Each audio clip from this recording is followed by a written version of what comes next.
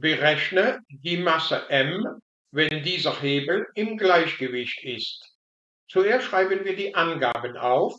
Dieser Hebelarm L1 beträgt 50 cm, das heißt 0,5 Meter.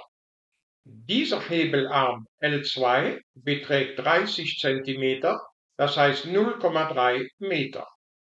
Diese Masse, nennen wir sie M2, beträgt 350 Kilogramm und was wir suchen, ist diese Masse klein m. Wir wissen, dass ein Hebel im Gleichgewicht ist, dann und genau dann, wenn die Summe der Drehmomente links von der Drehachse gleich ist zur Summe der Drehmomente rechts von der Drehachse.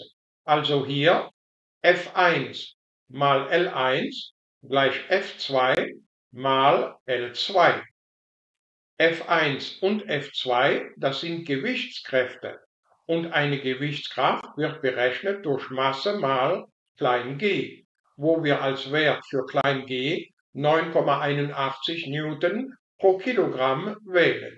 Also können wir jetzt diese Gleichgewichtsgleichung aufstellen. F1 mal L1 gleich F2 mal L2.